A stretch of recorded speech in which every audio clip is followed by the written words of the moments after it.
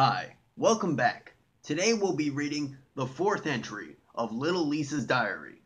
Just as a recap, in case you're just popping into the series now, first of all, what are you doing? Go watch the other three episodes. Why would you start at four?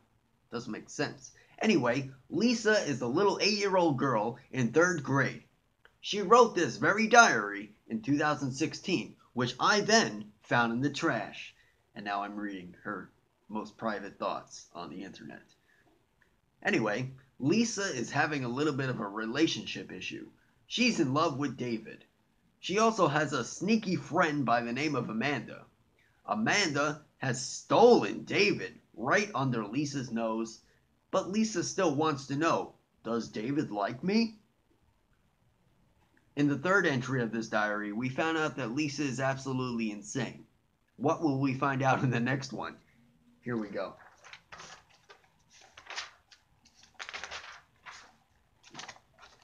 Okay, again, I have not read this. You have not heard it. First time for both of us. Here we go. We're going to get right into it. This looks like it has she has a lot to say this time. Okay, here we go. Dear diary, I had nothing to do today. Everyone was busy today, so I did not get to play with anyone at all. First, I woke up. We went to the park, and guess what? I was just sitting on the bench no one to play with me. Then I got ice cream. Then I went home and watched TV the half of the day. I was so bored. Even though I like David, he is just perfect for me after all. He knows that I love him. I hope it will not change anything between us. Is he still really like me or not? I really, really, really hope he liked me at least a little bit. I wanted him to tell me in person if he likes me or not at all. I am just weird, and he will not want to talk to me ever again. I am going to be sad. I and my life will be over. Talk soon. First of all, she says Irvry, which is quite delicious again. Um, but yeah, as you can see, she just instantly starts talking about David, and then she is is I don't know. Is Lisa suicidal? Um, I I I and my life will be over. So I think we need to watch out. We need to watch out we might find Lisa one day in a closet. you know, well, who knows? Who knows what we can see? Okay, let's let's start from the top because it starts off like a normal little girl's diary should. Okay, everyone was busy. Okay, we get that. Your life is not that exciting, Lisa. Okay, sometimes your friends got some something else to do. Okay, so she didn't get she didn't get to play with anybody, but she went to the park. She had some ice cream. Okay, and then she watched a bit of TV. Okay, uh, uh, assuming there's no school on this day. She doesn't say what day it is. She never says the days. So we're to assume there's no school. So she went to the park. She had some ice cream. She went to, uh, and then she watched some TV. That seems like a good day to me.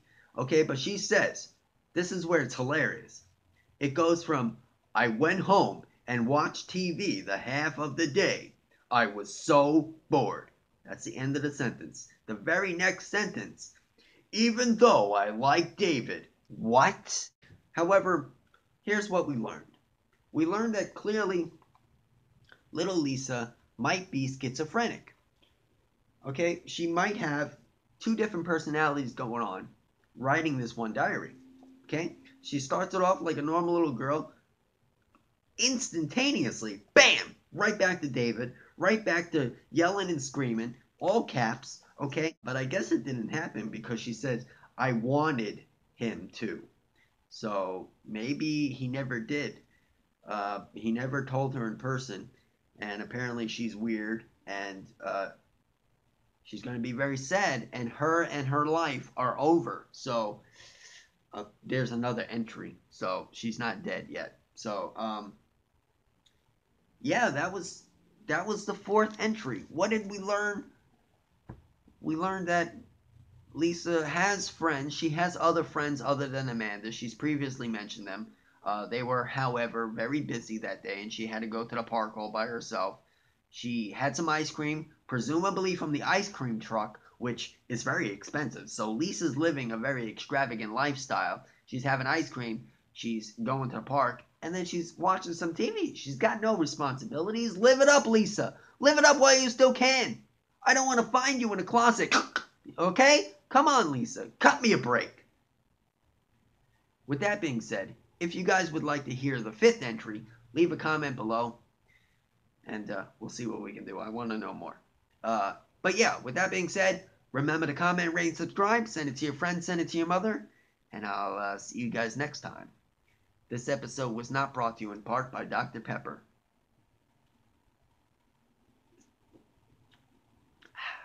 Goes down smooth.